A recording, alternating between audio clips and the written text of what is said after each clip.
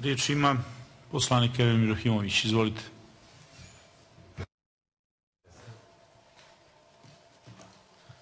Poštovani predsjedniče Skupštine sa saradnikom, uvaženi gospodine Čelanoviću, kolegice i kolege poslanici, poštovani građani, draga dijaspora.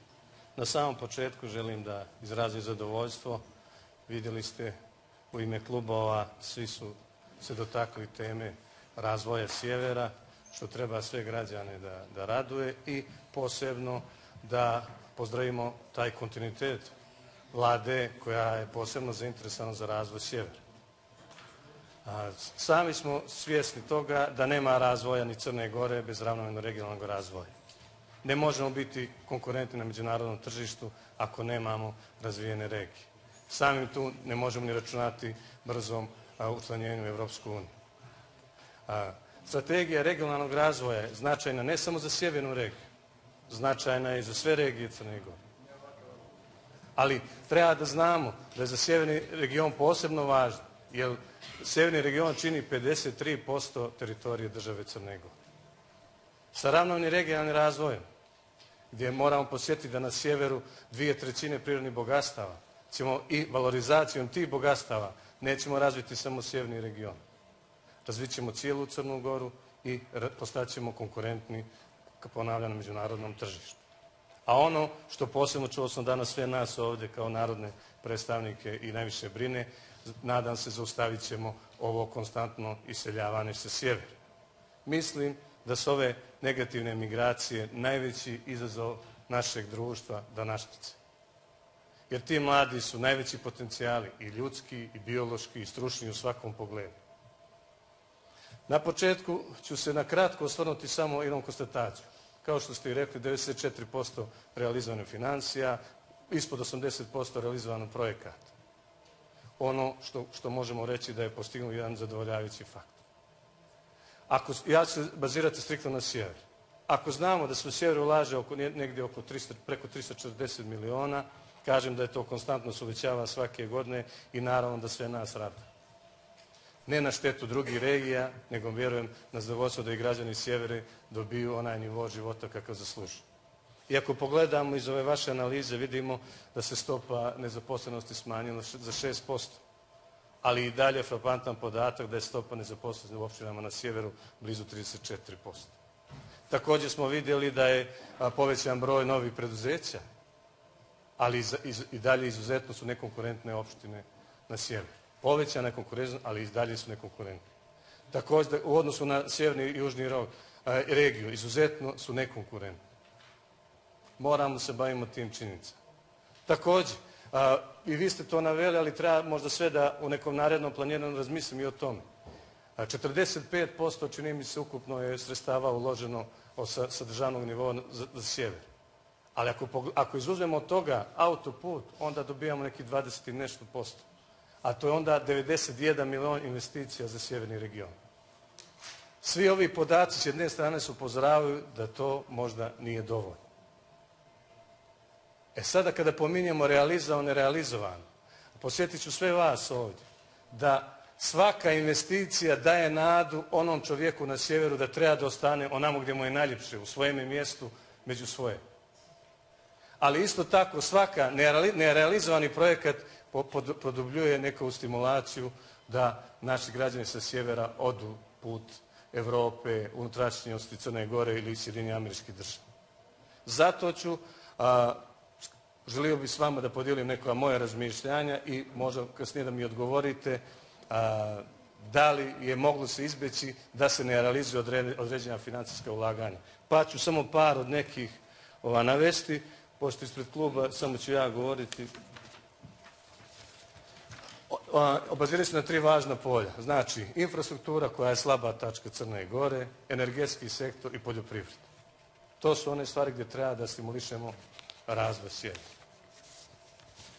Na primjer, počeći od toga rekonstrukcije put, puta pljevlja metar. Ove godine ide u dobrom pravcu, za 2018. 900.000 je planirano, realizovano nula. Negdje preko dva, blizu tri milijuna je planirano za rekonstrukciju puteva e, u opštine Bijelo polje. Realizovano vrlo malo. Rekonstrukcija klizišta Besnik, to je ovaj dio puta koji nas od Rožaja Špiljane povezuje Srbija, Crna Gora. Planirano, realizovano nula. E sada, ono što možda i najviše interesuje građana sjevera. U poljoprivredi, kao jedne od prioritetnih privrednih grana. IPAR 2, skoro 9 miliona planirano, realizovano nula. Podršku na pređenju stočnog fonda planirano 600.000, realizovano 463 i to 231.000 od privatnog kapitala. Diversifikacija ekonomske aktivnosti u ruralnim područjima plan 500.000, realizovano nula. Izgradnju vodovod ruralnim područjima opštine Rožaje 180.000 planirano, realizovano nula. IPAR 2, 3 like, planirano 2 milioni 400 i nešto, realizovano samo 125.000. Promocija poljoprivrednih proizvoda, edukacija i studijska putovanja, bez čega nema ni, nemamo ni modernih poljoprivrednih proizvođača, planirano 30 se planira više, realizovano nula.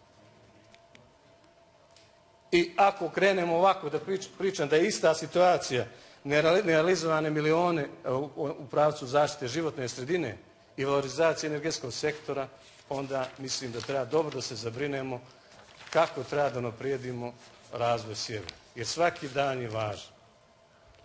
Namere su izvojio parovi nerealizovanih projekata da bismo svi zamislili, da svi zajedno vidimo, sve su političke strukture raspone za to, da probamo zajednički da što brže i dinamičnije se bavimo problemom razvoja sjevera.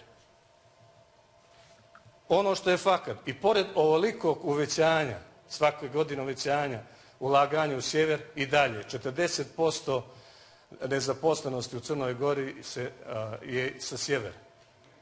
I najveće siromaštvo je na sjever. Odnosno, fakat je da je stopa nezaposlenosti najveća na sjeveru, da je a, dohodak po glavi stanovništva i dalje najniži na sjeveru, da je stopa obrazovanja najniža i tako dalje, da je putna infrastruktura na, u najlošijem stanju i tako dalje i tako dalje. I još minut i završavam. Ono što sam želio da kažem, ne da kritikujem, nego da iskoristimo energiju svih ovih političkih partija i onog znanja u Crnoj Gori. Da sa najviše zvaničnih adresa prepoznamo nedostatke u prošlogodišnjem planiranju, da i ne bi ponovili ove godine ili naredne godine. Ove četiri godine, dobro ste rekli, prožili su nam priliku da vidimo koliko smo napredovali, koliko smo uspjeli da te neke tačke a, prepoznamo i da ih otlonimo. Ali isto tako nam ne daju pravo da što brže i što itnije ne, ne udružimo svoju energiju. Znači, sa najviših zvaničnih adresa uklonimo one faktore koji usporavaju razvoj sjevera. Jer svjedoci smo, i time završavam, i u zadnju godinu, zadnje godine dvije, tri, imamo par koji napuštaju sjever.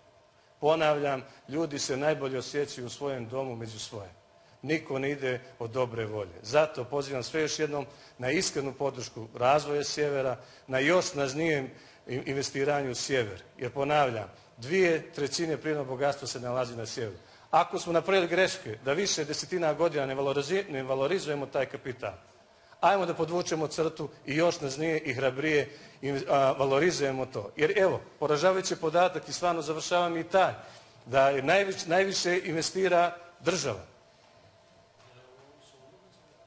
Znači, ono što treba reći, da je potrebno u svakom pogledu logistika i opštinama na sjeveru i nekako naći puta da ti eurofondovi dođu i na sjever. Zahvaljujem i izvinjavam se. Hvala vam, poslaniče Ibrahimoviću. Kervin Ibrahimović, izvolite.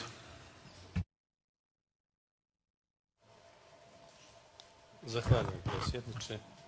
Naravno, i vi ste svjesni, uvaženi gospodine Čelanoviću, da smo zajedno tu da pokušamo da napravimo taj plan kako bi zaustavili iseljavanje. I ja sam ovo vaše trend shvatio kao jedan žargon mladi ljudi.